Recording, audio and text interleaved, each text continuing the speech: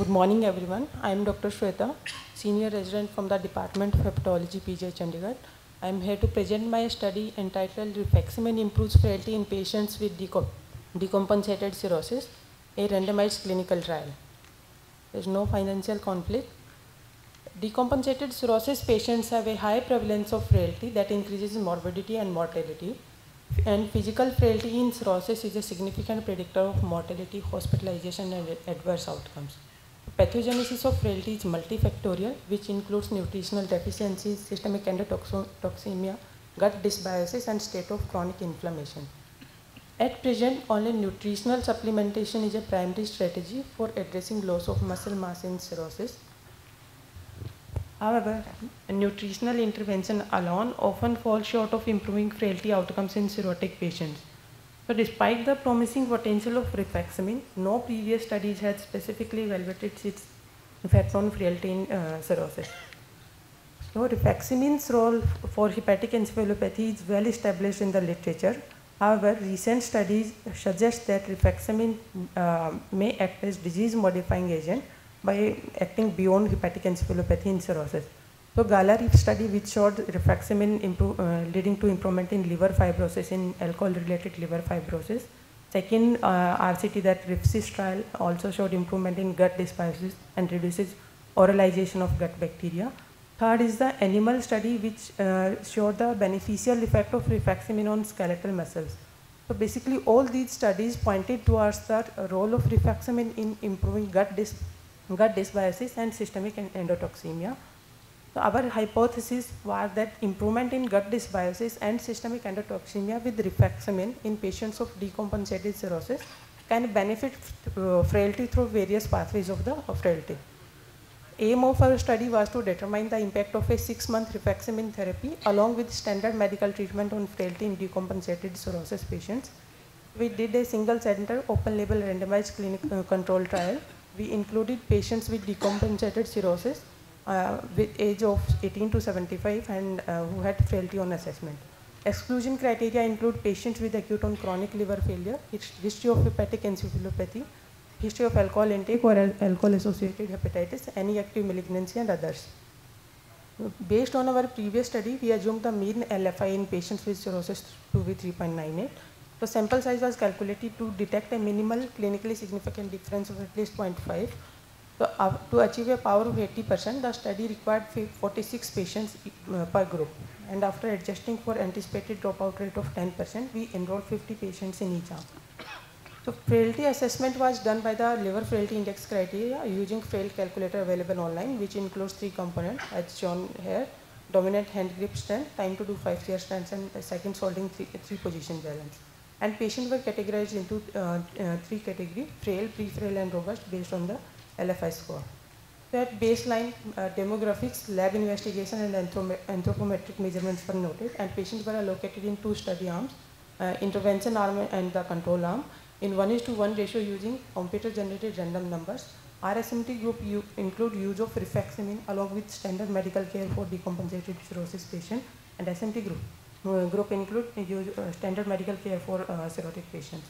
And patients were followed weekly for first month, then monthly till six months. Results, we assessed 250 patients for eligibility, out of which 150 were excluded for various reasons. 100 were randomized to 1 is to 1 group, group A and group B.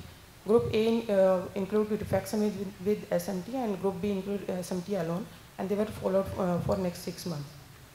All baseline characteristics of the study population uh, including age, gender, comorbidities and etiology of cirrhosis were comparable at baseline and most common etiology in our study most common etiology of cirrhosis in our study was alcohol, followed by MASLD and hepatitis C. CTP score was 8 uh, versus 8.2, MELD score was 12 versus 13, and LFI was 4.7 in both the groups at uh, baseline.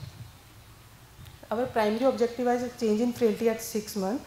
There was significant improvement in LFI in RSMT group uh, uh from 4.7 to 4.2. However, no significant change was noted in the SMT group. Delta change in LFI was also significantly higher in RSMT. That delta change was uh, 0.5 versus 0.06. Uh, similarly, hand grip strength also improved in RSMT group in both male uh, and in both male and female. both five chair stands and balance time also showed improving trend in the in RSMT group. However, it was not statistically significant as compared to SMT. On Cox regression analysis, we found that enrollment in the intervention arm, younger age of the patient, and lower levels of IL-6 at baseline were the predictors of frailty improvement at uh, six months. Secondary outcomes prognostic scores, there was significant improvement in CTP score in RSMT group as compared to the SMT, and similar uh, trend of improvement in MELD score was also noted in RSMT group as compared to the SMT group. Uh, Second, uh, second, uh, second outcome that inflammatory markers at six months, all baseline, uh, all inflammatory markers including ESR, CRP and IL-6 im- reduced in both the groups. However, delta change in specifically in IL-6 was significantly higher uh, in the RSMT group as compared to the SMT that were 10 versus 5. There was significant reduction in the uh, hospitalization rate uh, in RSMT group 16 versus 52 percent with a significant reduction in the frequency of hospitalization. All causes of hospitalization uh, showed reduced, uh, uh, there was reduced incidence of hepatic encephalopathy, spontaneous bacterial peritonitis, acute varicose bleed and acute kidney injury in RSMT group as compared to the SMT. So on univariate analysis, we found in, uh, inclusion in the control arm, higher MELD at baseline, higher levels of IL-6 and frailty at baseline were associated with hospitalization. However, on multivariate analysis, in, uh, inclusion in the control arm, uh, higher levels of IL-6 and frailty were the predictors of hospitalization. Overall survival was 84% in our study. Around 90%, 90% patients survived in RSMT versus 78% in SMT. However, this difference was not statistically significant. So concluding our study, this study shows that six months of rifaximin in patients with decompensated cirrhosis patients improves frailty, reduces the severity of liver disease, and reduces hospitalization rate with significant reduction in the incidence of spontaneous bacterial peritonitis, hepatic encephalopathy, acute varicose bleed, and acute kidney injury. So benefits are likely mediated through effects on systemic inflammation and gut microbiota.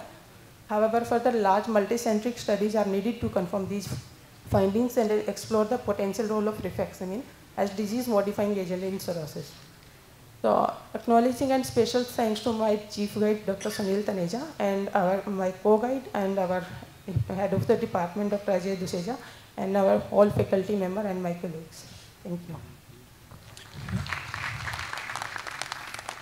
I have two questions for you. Uh, one is half your patients were alcoholic uh, related. See, I didn't see data on subsequent use of alcohol in the six months of your trial. I would like to know about that. And second is uh, there was significant reduction in spontaneous bacterial peritonitis and hepatic encephalopathy. So was there any effect of rifaximin independent of those two factors? Uh, independent of spontaneous bacterial peritonitis and hepatic encephalopathy because that is a clear indication for rifaximin. Uh, sir, we enrolled all patients at baseline who had no hepatic encephalopathy at baseline or no history of uh, hepatic encephalopathy. On follow-up, these patients are at on risk of hepatic encephalopathy. On follow-up, there was significant less number of uh, patients who developed hepatic encephalopathy. Was did you look at? I mean, maybe your numbers are too small, but is there an effect independent of spontaneous bacterial peritonitis and hepatic encephalopathy? Independent of?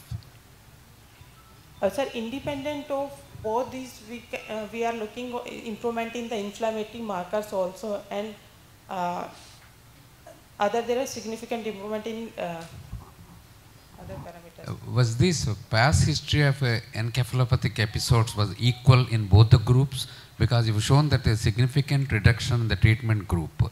The past history is also very important in Sir, this. at baseline, we included only those patients who had no history of hepatic encephalopathy in the past. So Microphone we four. excluded those patients. Microphone four.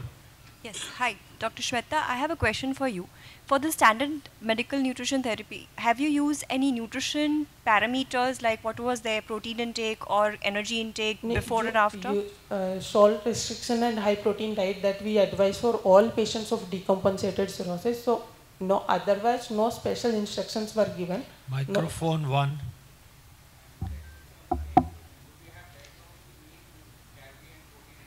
mean calorie data.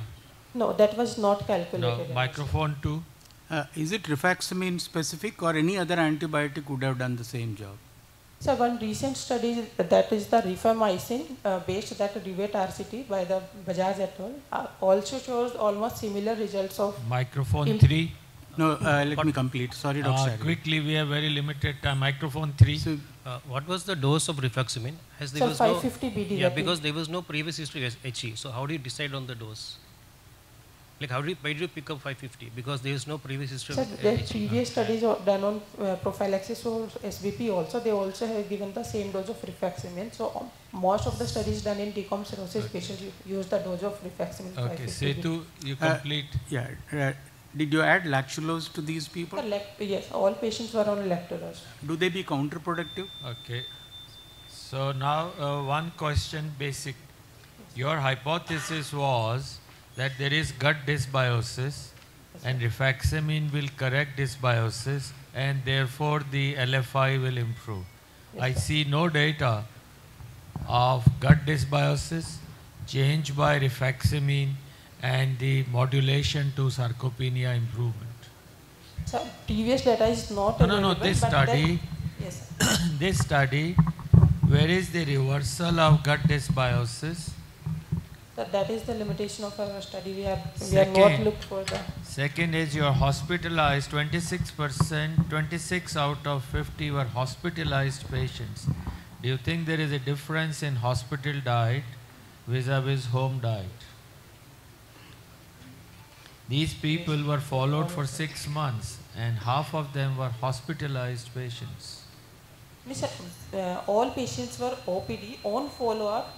These patient, uh, this number of patients hospitalized. So there was They- none, none of them was hospitalized. no on. All right. So your hypothesis needs to be confirmed that dysbiosis and sarcopenia. Okay. Thank you.